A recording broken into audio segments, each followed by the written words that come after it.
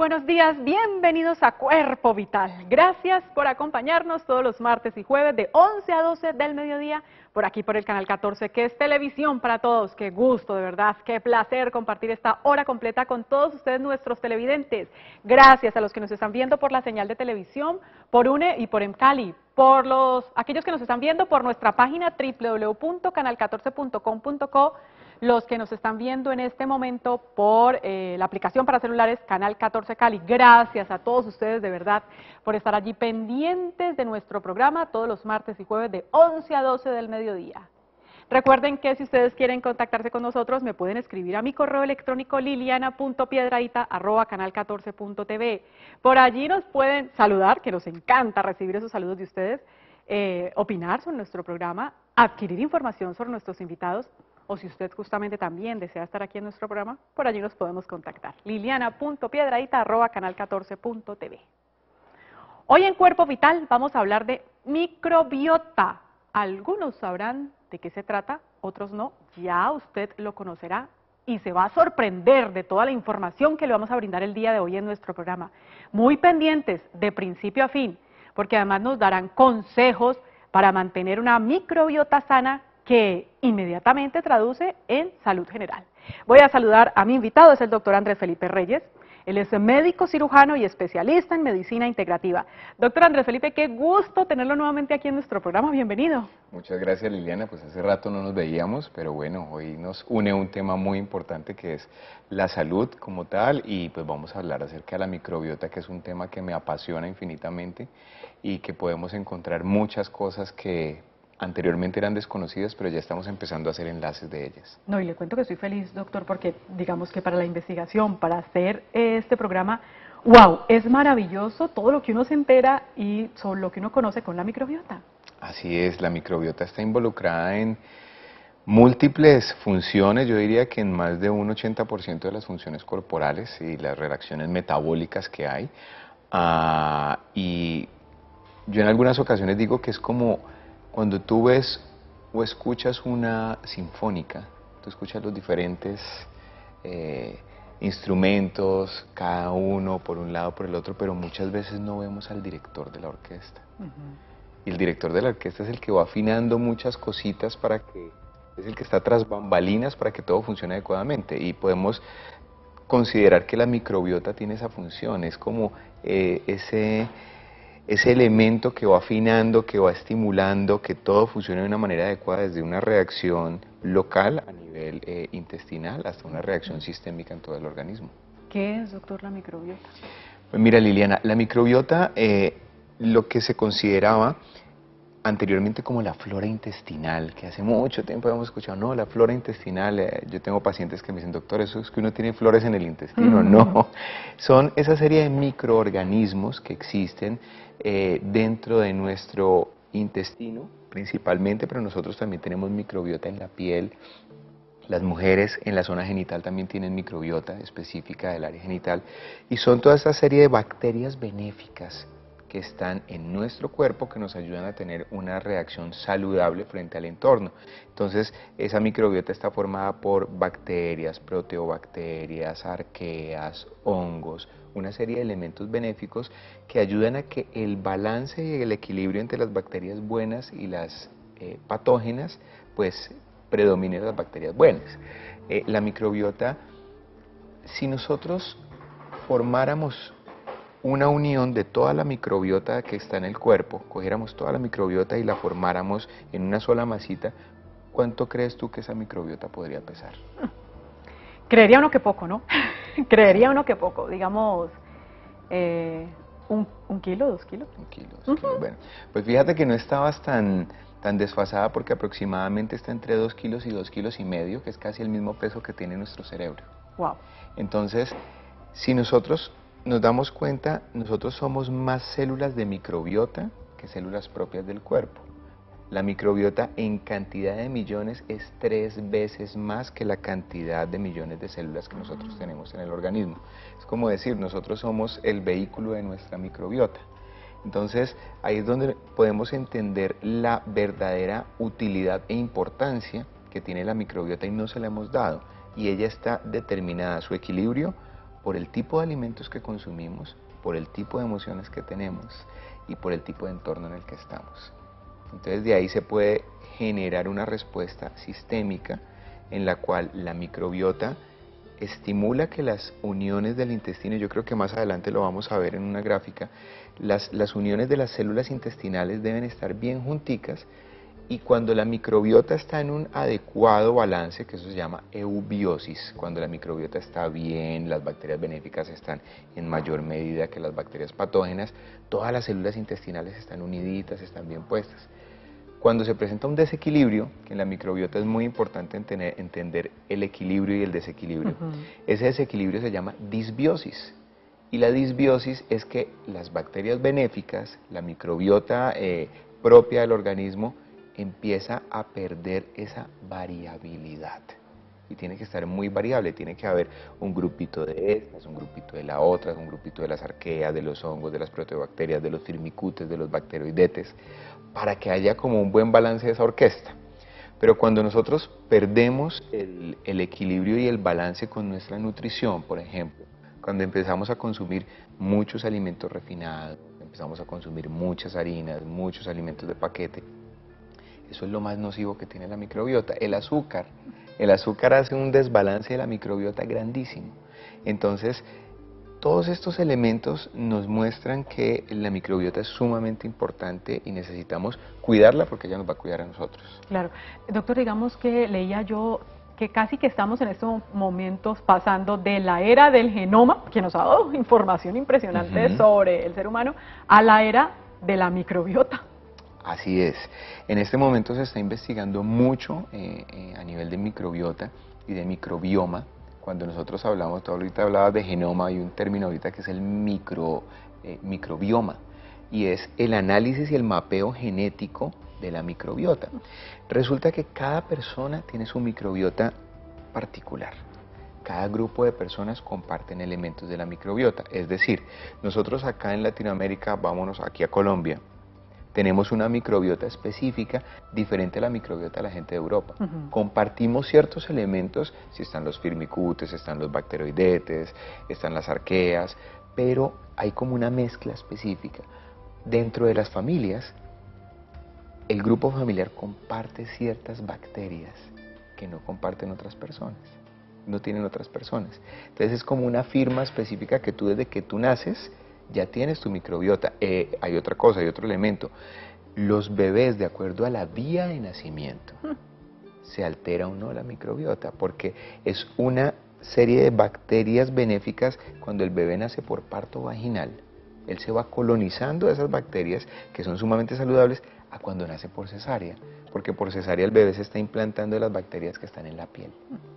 Entonces, es como empezar a hilar muy, muy, muy fino y con el tema de la, del microbioma se ha analizado genéticamente cuáles son los grupos específicos de bacterias que existen. Pero entonces, doctor, digamos, compartimos entre familia algo, pero cada uno va a ser diferente. Cada uno es completamente distinto. Así vivamos en el mismo lugar, casi que nos alimentemos de lo mismo.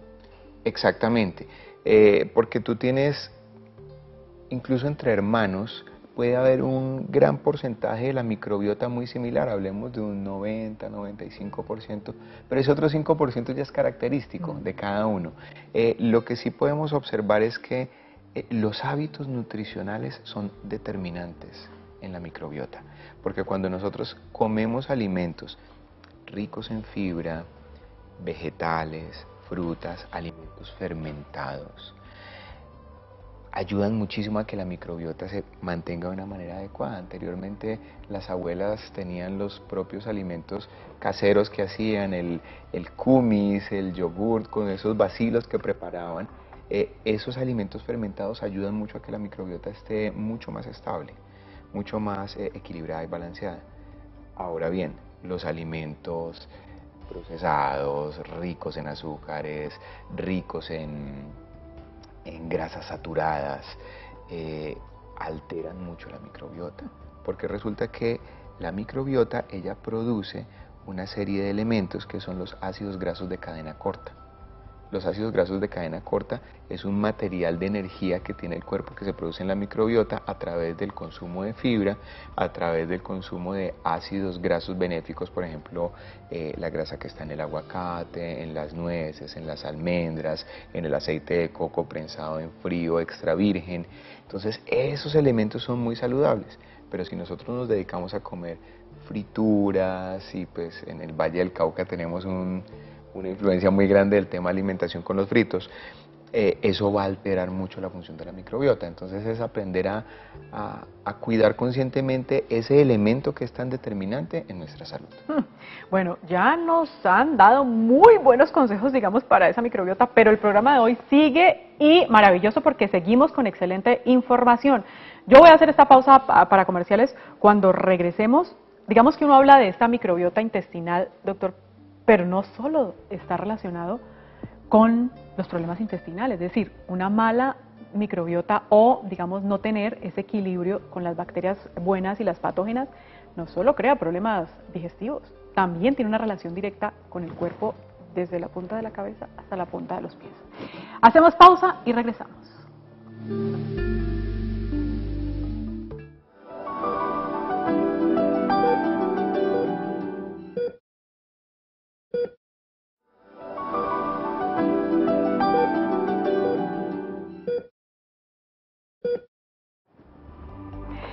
Qué bueno que continúen con nosotros. Seguimos en Cuerpo Vital hablando de microbiota con el doctor Andrés Felipe Reyes, médico cirujano, especialista en medicina integrativa.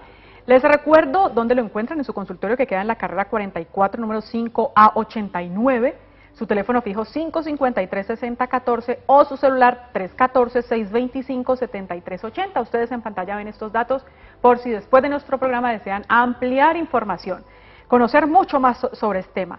Doctor Andrés Felipe, entonces decíamos, eh, usted nos contaba, el bebé, digamos, dependiendo de la forma de nacer, también nace con unas bacterias o con su microbiota de una manera.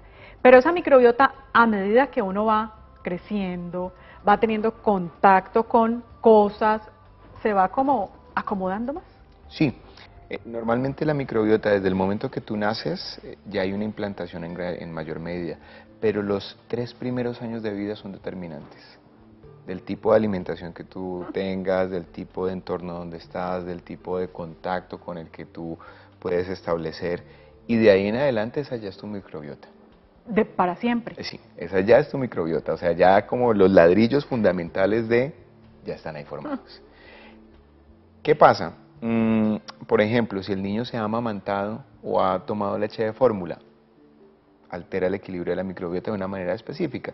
Entonces es cuando uno ya, después de los tres años, eh, como decían las abuelas, bueno, pues tenemos esto, hay que trabajar con eso. ¿sí? Entonces, ¿cómo optimizamos que esta microbiota funcione de manera adecuada? Y ahí es donde es importante eh, un término y es la variabilidad de la microbiota y consumir alimentos que estimulen esa variabilidad y también hay elementos que podemos tener y son los suplementos de probióticos o prebióticos que ayudan a que esta microbiota funcione de una manera adecuada. Eh, y es muy importante el tema de la variabilidad para que el equilibrio esté, adecuado. Es como cuando en una empresa tiene que estar el gerente, el contador, el jefe de producción, los operarios, o acá en el canal, los camarógrafos, los de BTR, el sonidista, iluminación.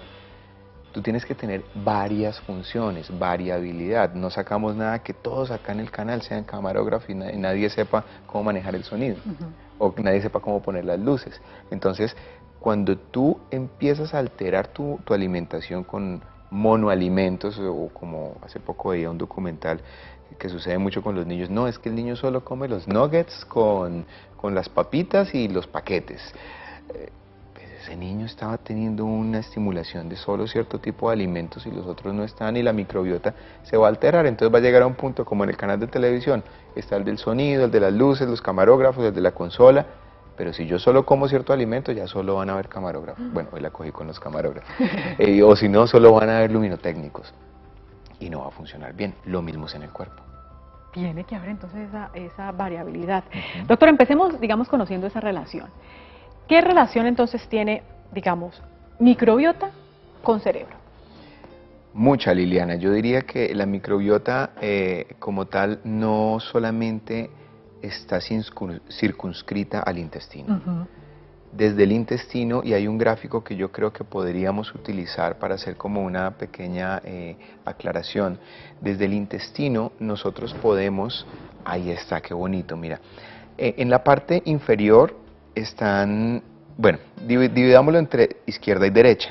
En la parte izquierda tenemos un cuerpo saludable que debajo hay un, avisito que dice Healthy Diet, que es una dieta saludable, y en la parte inferior inferior hay unos punticos que dice microbiota intestinal.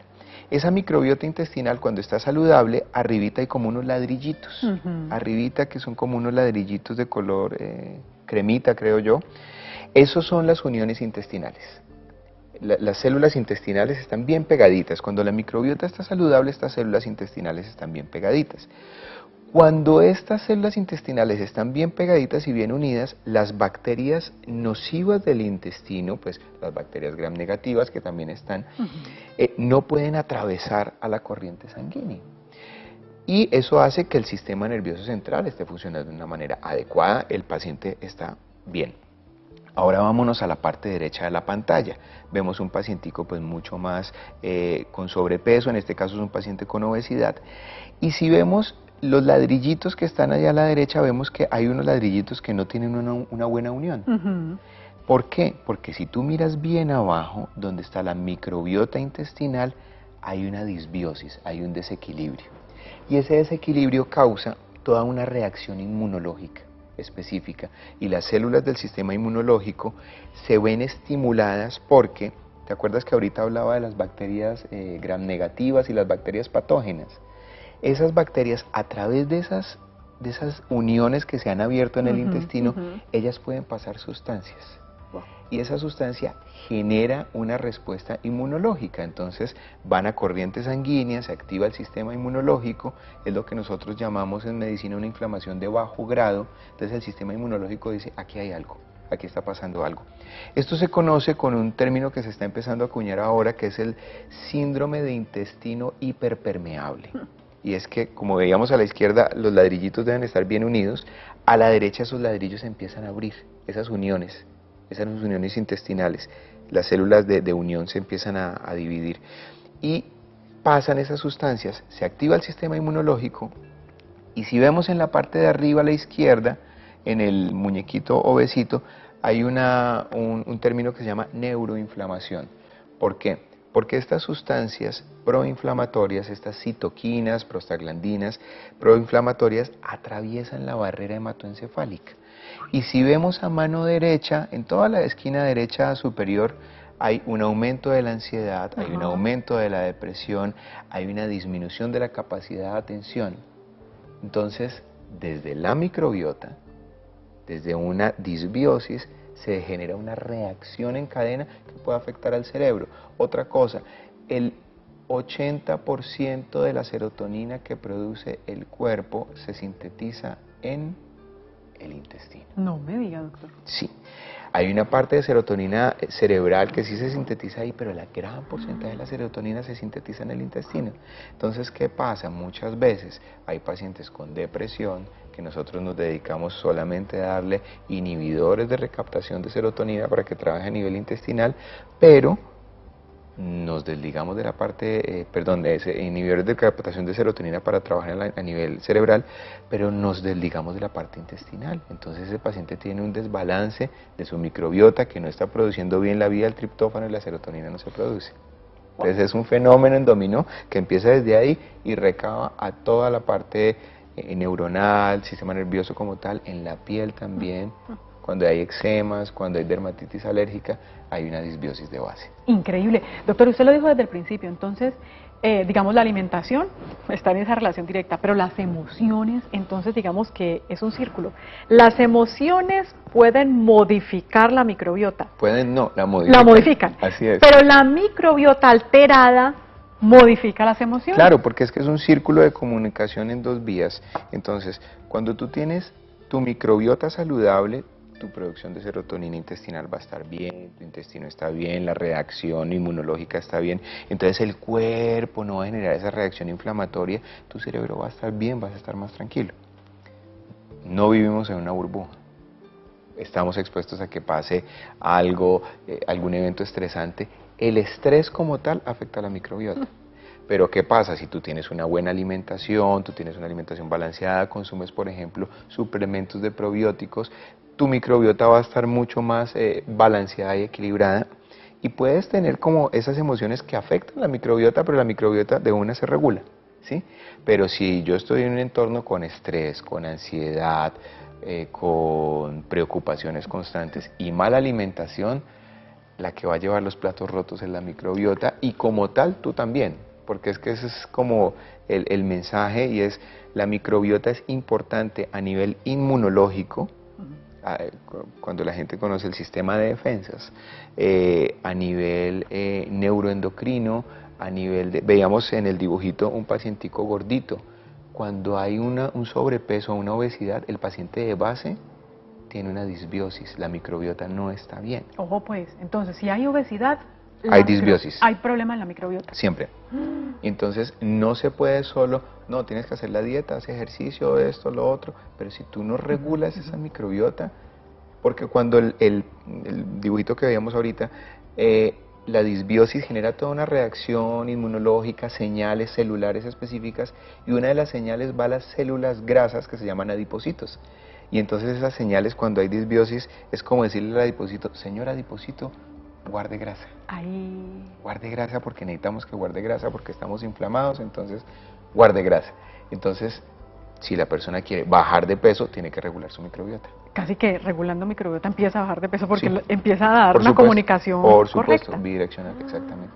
Hablo también del sistema inmune, es decir, aquellas personas que de pronto mantienen enfermas, gripas a repetición, tal vez alguien está enfermo y ahí mismo, mm, tal vez por ahí viene su problema. Sí, porque igual si nosotros vemos eh, la reacción, la función inmunológica que tiene la microbiota, la microbiota tiene, eh, llamémoslo, tres funciones principales. Una a nivel digestivo, eh, como tal, pues local, una metabólica, por lo que hablábamos del sobrepeso, la obesidad, y una inmunológica.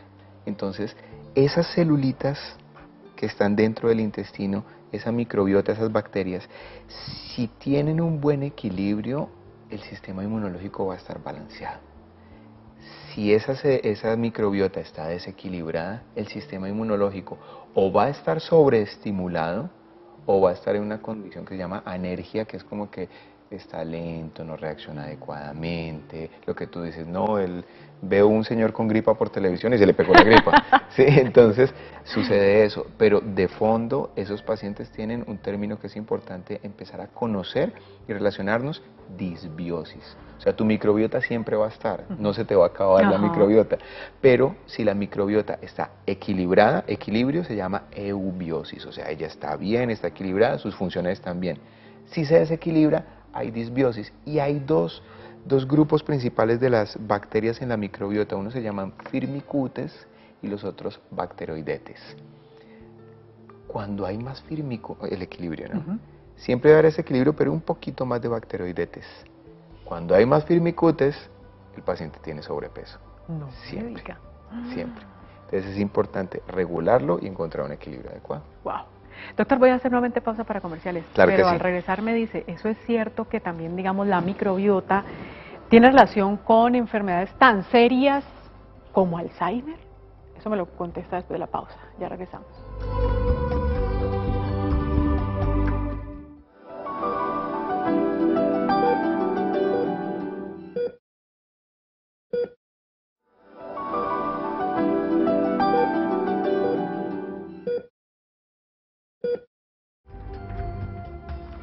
Microbiota es nuestro tema del día de hoy, conversando con el doctor Andrés Felipe Reyes, médico cirujano especialista en medicina integrativa. En pantalla ustedes están viendo sus números de contacto 553-6014 y 314-625-7380. Mucha atención, digamos, con esos teléfonos por si ustedes desean después adquirir mayor información o, digamos, mejorar justamente esta eh, microbiota. Yo antes de irnos a la pausa le preguntaba, doctor, sobre esa relación, que si es cierta o es falsa, esa relación de la microbiota con enfermedades tan serias como Alzheimer.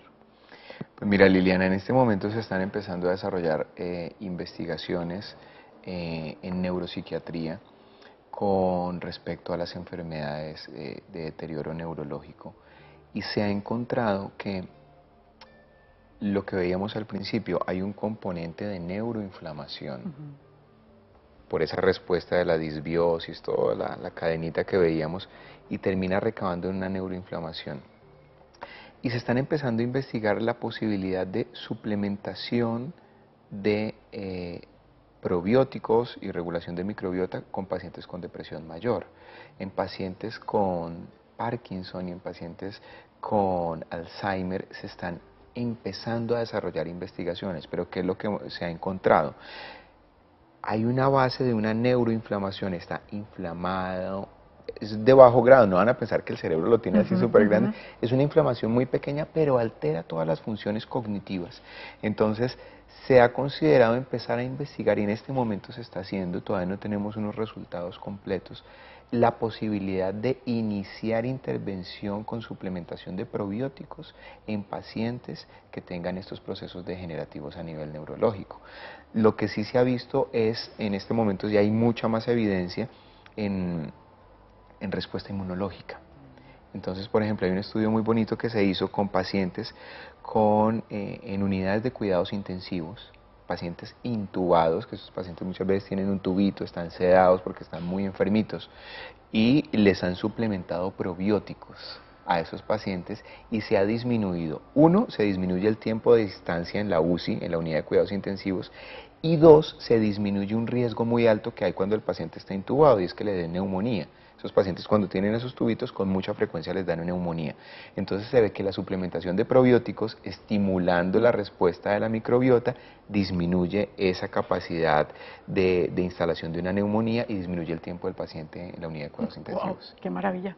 Eso es aterrador. Doctor, e, en este momento mucha es la gente que está estudiando justamente eh, sobre microbiota, ¿no? Es decir, nos falta, yo creo que nos falta mucho por conocer, pero afortunadamente sí se estudia y se estudia para poder, digamos, relacionarlo con esta salud en general. Pues mira, Liliana, hay un término en medicina que, se llama epigenética, y epigenética es lo que está por encima de los genes, epi por encima, genética. Y es como todas las enfermedades que se pueden desarrollar eh, más allá de tu condición genética, entonces enfermedades crónicas, diabetes, hipertensión, eh, enfermedades crónicas no transmisibles. Y lo que se ha encontrado es que la microbiota está muy involucrada en el desarrollo de esas enfermedades. Es decir, cuando hay una disbiosis, hay un desbalance de esa microbiota, esas enfermedades se pueden desarrollar con más facilidad que eh, cuando la persona tiene una microbiota saludable. Entonces, lo que yo te diría, yo considero que nosotros en medicina en los próximos 10 años vamos a tener un vuelco más hacia la microbiota porque el potencial es muy grande. Eh, por ejemplo, este, este año eh, se realizó el Congreso Mundial de Microbiota en Italia, en donde se estaba hablando de estos temas, se estaba hablando cómo las enfermedades crónicas están directamente relacionadas con la disbiosis, enfermedades dermatológicas, enfermedades de la piel como eh, dermatitis crónicas están ligadas a una disbiosis, eh, enfermedades como una psoriasis está ligada a sus crisis a una disbiosis también que, que existe. Entonces, cuando nosotros nos damos cuenta que la microbiota, como decía al principio, la tenemos en el pelo, nosotros tenemos microbiota en la piel, en el intestino, en la zona genital. La sacamos del, intestino, por decirlo de alguna manera, sacar la microbiota del intestino, es decir, tu microbiota va a influir en tu salud en general y en tus emociones, en cómo estés y tus emociones la van a afectar. Imagínese, imagínese lo seria y la relación eh, que tiene. Doctor, lo ha nombrado, lo nombró ahora también. Las alergias sí que tienen relación con Sí. La eh, microbiota. por ejemplo, la rinitis alérgica, eh, si nosotros eh, hacemos un, un símil, hay un fenómeno que se llama el síndrome inflamatorio de mucosas. Y el síndrome inflamatorio de mucosas es un término acuñado por el doctor Medardo Rosales. Es un fenómeno en el cual las mucosas se te inflaman, decir, el paciente con rinitis alérgica, no tiene moquitos y le gotea todo el tiempo, pero si tiene inflamada la mucosa nasal, tiene inflamada la mucosa gástrica la mucosa genital.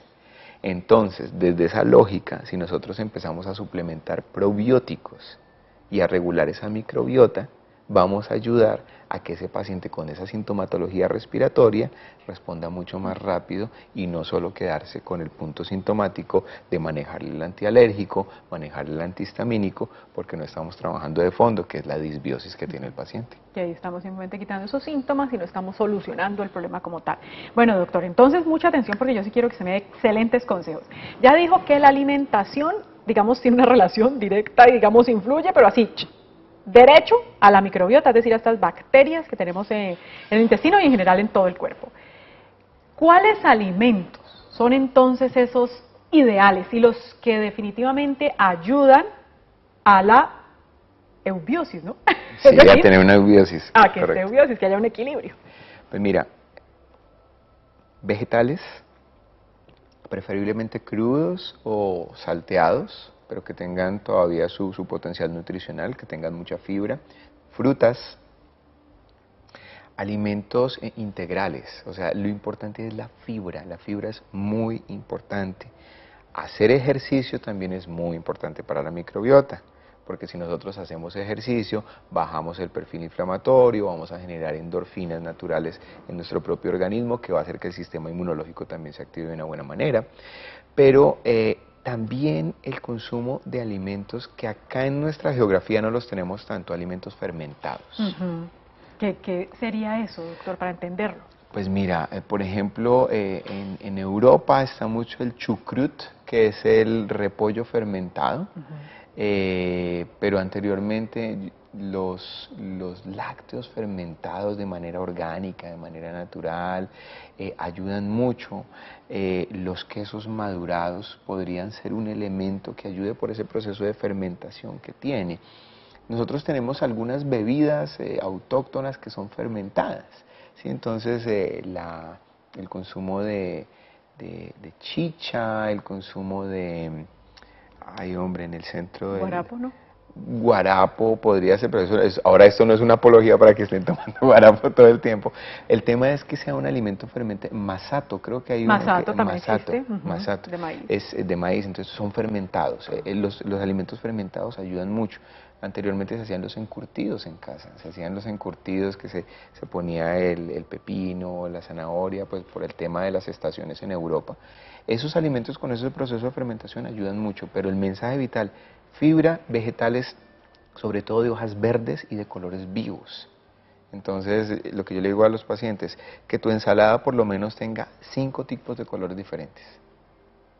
Porque hay gente que dice, no, yo como ensalada, tomate, cebolla y lechuga.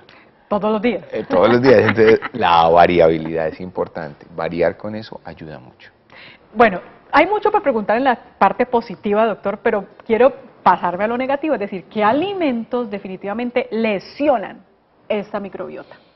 Pues mira, todos los alimentos que son ultraprocesados, estamos hablando de los paquetes, el mecato, eh, los alimentos ricos en azúcares, altos en azúcares, porque eh, no, no ayudan a que ese proceso fermentativo a nivel intestinal de la microbiota se dé adecuadamente. Eh, cuando consumimos alimentos ricos en azúcares se sobrefermentan a nivel intestinal y entonces empiezan a haber gases, la persona tiene distensión abdominal, dificultad en la evacuación, estreñimiento. Todas estas sintomatologías gástricas nos hablan de que hay una disbiosis de base. Entonces, alimentos a, evitar, alimentos ricos en azúcares, eh, bebidas gaseosas, eh, harinas refinadas, es decir, todas las cosas de panadería que es con harina blanca, es complejo, es complejo para la microbiota. Entonces mejor ubicarnos en harinas y si podemos harinas diferentes a las de trigo, pues mucho mejor. Si tenemos solo harina de trigo, bueno, que sea integral, eh, integral de verdad, porque hay otros que dicen es integral, pero pues... De integral solo el color. De integral solo el color y, y la marca y el paquete. porque de resto, que se vería normal. Doctor, voy a hacer pausa para comerciales. Claro que sí.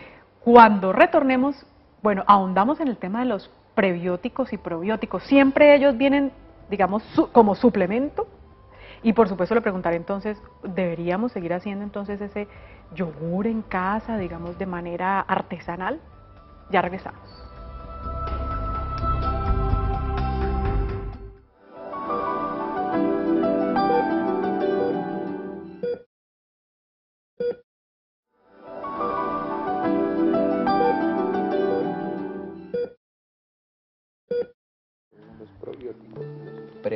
Aquí con el doctor hablando mucho en estos comerciales y ya se lo vamos a decir porque vamos a contarle a ustedes también nuestros televidentes de qué hablábamos aquí en nuestra pausa para que usted se entere qué es eso de los prebióticos y qué es eso de los probióticos. Conversando con el doctor Andrés Felipe Reyes, médico cirujano especialista en medicina integrativa.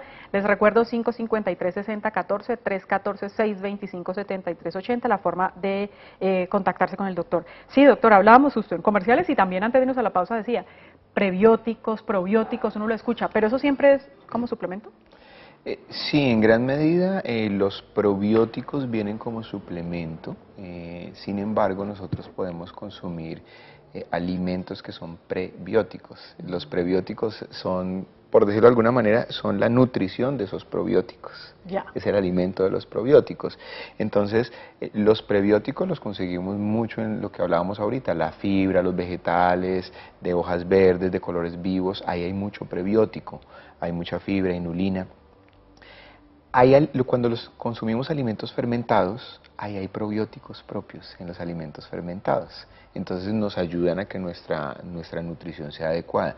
Sin embargo, como nosotros no somos una cultura de mucho alimento fermentado, entonces sí es prudente que cada cierto tiempo la persona pueda tener una suplementación de probióticos para ayudar en ese equilibrio en ese equilibrio. Normalmente cuando, por ejemplo, yo tengo un paciente que, que observo clínicamente que tiene muchos síntomas de disbiosis, yo inicio un tratamiento con probióticos, eh, regularmente lo mando por tres meses y ya después vamos haciendo ciclos porque ese es como el tiempo que se demora la, la microbiota en ir regulándose, en ir regulándose y el paciente con esa suplementación se va dando cuenta cómo los síntomas inconexos a la parte digestiva van mejorando. Doctor, es que ya tengo mejor sueño. Doctor, es que la piel me ha mejorado. Doctor, es que el ánimo ya está mejor. Entonces tú vas encontrando todos estos elementos que son importantes porque eh, todo va desde un origen y es el reequilibrio de esa microbiota. Doctor, pero ¿cómo se hace esos, esa suplementación? Digamos, ¿qué es? ¿Eso se compra en un lado, se toma? ¿Cómo sí, normalmente tú los puedes conseguir en, sobre todo en droguerías, eh, suplementos de probióticos. Eh, hay muchos eh, en el mercado, pues obviamente no podemos decir marcas. Eh, hay muchos, hay desde unos que se llaman, los probióticos tienen algo que se llaman las cepas, las cepas del probiótico. Entonces hay muchos que tienen familias de probióticos, que son los lactobacilos, bifidobacterium, streptococcus thermophilus, hay unos que vienen encapsulados, otros que vienen en esporas. Entonces, ese tipo de, probióticos tú los consigues en, el mercado y básicamente eh, los puedes ir tomando. Hay algunos que vienen en una sola dosis diaria y vienen en diferentes presentaciones. Hay unos que vienen en tabletas, hay otros que vienen en, polvo para agregarlo a un jugo, agregarlo a algún tipo de bebida. Entonces, eh, los, los probióticos ayudan mucho y son un suplemento nutricional de venta libre eh, pero sí, de acuerdo a cada cepa que tiene el probiótico, tiene mejor evidencia con determinada enfermedad. Mm. Entonces ya hay estudios que han definido, mira, estas familias de probióticos actúan mejor en este tipo de hepatitis, o actúan mejor en este tipo de encefalopatía, o actúan mejor en obesidad, o actúan mejor en problemas dermatológicos. Entonces ya es el médico el que empieza a observar qué tiene el paciente y qué tipo de probiótico se suplementa pero lo importante es encontrar, por ejemplo, algún tipo de probiótico que tenga varias cepas, funciona muy bien. Igual, los probióticos se utilizan mucho en trastornos eh, agudos eh, de la motilidad intestinal, es decir, en una diarrea, Dentro de los tratamientos que mandamos es probiótico y hay probióticos puntuales que mandamos para eso, pero hay otros probióticos que también podemos mandar para hacer una regulación sistémica y regular la disbiosis que tiene un paciente. Doctor, me lo ha nombrado muchas veces, el yogur, digamos, vendría siendo buena fuente, porque además sobre la leche se habla mucho. pues ahí nos metemos como en camisa once varas, Liliana, porque tú sabes cuál es mi opinión. Eh, yo no soy muy amigo de los lácteos, la verdad, eh, por varias cosas. Ah, uno, la leche que tomamos ahora no es la misma leche orgánica de antes, eh, está, sufre una serie de procesos que desnaturalizan mucho. Y cuando, por ejemplo, hay un paciente con alergias, yo regularmente a los niños les quito la leche. Entonces, pero me dicen, ¿cómo así? El calcio, tiene más calcio una porción de brócoli o de ajonjolí que un vaso de leche, un, calcio biodisponible para el cuerpo. Eh, Entonces yo pensaría que si es un yogurt o un kumis hecho en casa, con leche orgánica, natural, de una manera adecuada, podría ser eh, mejor. Pero yo pienso que más bien vamos a otros alimentos que también pueden tener prebióticos y alimentos fermentados eh, que pueden ayudar pues, a ese tipo de pacientes. O encontrarlos como suplemento. O claro, o los consiguen en suplemento en, diferentes eh, farmacias que los pueden encontrar. O usted nos contaba también, digamos, ahí en su consultorio también está de una manera, digamos, como tratamiento, por así decirlo. Sí, claro, pues lo hago de tratamiento para algunos pacientes de manera puntual. Eh, pero yo te digo, por ejemplo, en este momento estoy haciendo tratamiento de pacientes de ansiedad con suplementación de probióticos. Entonces, si, si no podemos ver el panorama completo que la alteración de la microbiota está como base de múltiples patologías, nos vamos a quedar viendo como hace más o menos unos 10 años se veía y era pensar en probióticos, ah, diarrea, no. O sea, ya es mucho más allá de eso y hay una reacción sistémica completa que muestra cómo la microbiota ejerce un factor fundamental a nivel inmunológico, metabólico, gástrico y funcional en todo el organismo. Imagínense, si en este momento tiene alguna dolencia, algún problema, mucha atención, puede venir porque tiene un desequilibrio justamente en esta microbiota, en estas bacterias que están en su intestino. Doctor Andrés Felipe Reyes, médico cirujano especialista en medicina integrativa, gracias por habernos acompañado el día de hoy. Liliana, con mucho gusto, para mí es un placer siempre estar acá y bueno, hablar de microbiota, que es uno de los temas que me apasiona mucho. Que vuelva. Así será. Las, lo espero aquí. 553-6014, su teléfono fijo, o 314-625-7380, su celular. Televidentes, gracias por habernos acompañado el día de hoy. Recuerden, vamos martes y jueves de 11 a 12 del mediodía. Que tengan una feliz tarde.